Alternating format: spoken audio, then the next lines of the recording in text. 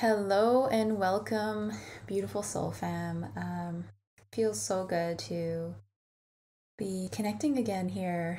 Um, be completely honest, I have been feeling very introverted, is the first word that comes to mind, and really trying to honor that piece of myself. Um, if anyone's been following along in this journey, uh, if you tune back into the how to read your human design chart, um, we actually go through my own human design.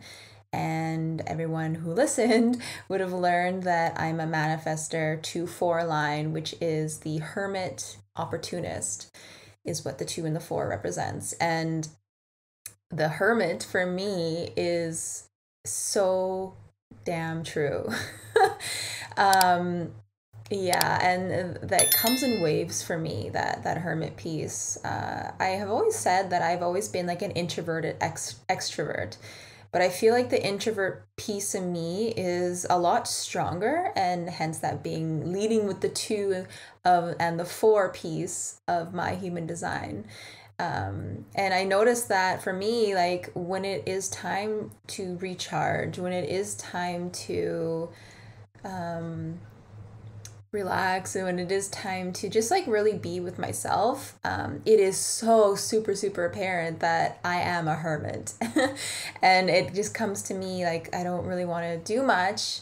And it's taking a lot of learning and deconditioning to be okay with not doing anything um, and really taking care of myself.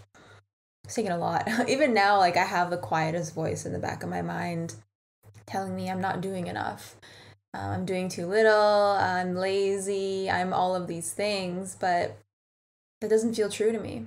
You know, like we all we all have varying um, amounts of energy, and we all have our own requirements as an individual. And that leads me to today's episode.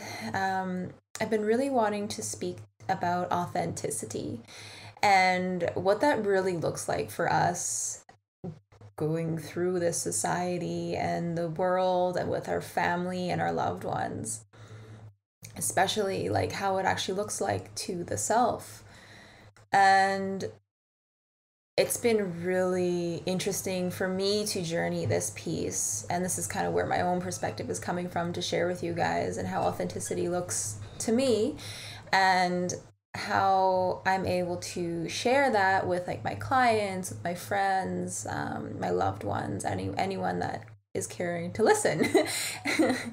And yeah it is a journey. So like i mean if you think about how we come into this world you know we come in as loving beautiful babies right? We we come in um, wanting the love from our parents. We come in um, truly feeling that we can express and play and love and just be right? And as we move through that you know like imagine back again like trying to stay in this ima- imagination of you as your inner child you know you as a youth.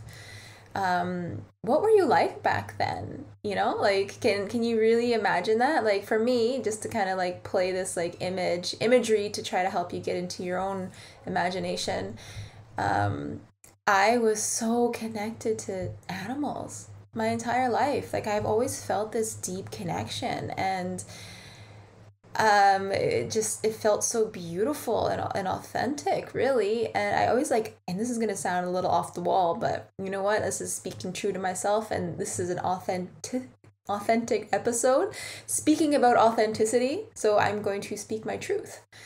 And as a child i always felt that i could i just knew what animals were thinking and feeling. I just knew it you know? And I would go around and pretend that I myself was some kind of animal, like a dog or a horse or just like whatever, and just really playing. And at some point in time, as I'm really just in it and just like feeling so good, enjoying and just feeling good, you know, like in my body, just honoring what I wanted to do. Someone along the line comes and says, You're being weird.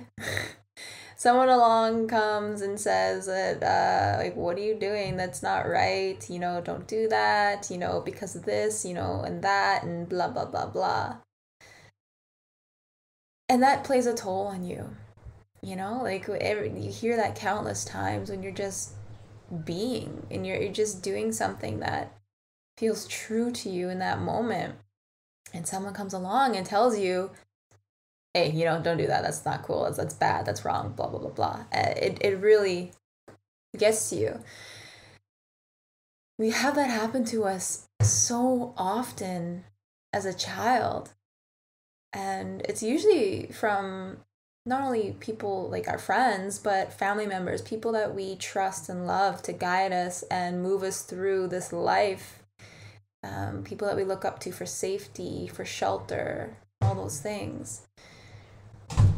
And when we have that told to us by people we put on this, even like a pedestal, I would almost think, just people we look to for safety, it creates a distrust in ourself thinking that when we were doing this thing that felt so good and true to us in that moment, told us that it's wrong or not good or whatever, then we're like, okay, well, why am I gonna trust this this feeling inside of myself that feels so good? Like that must not feel good.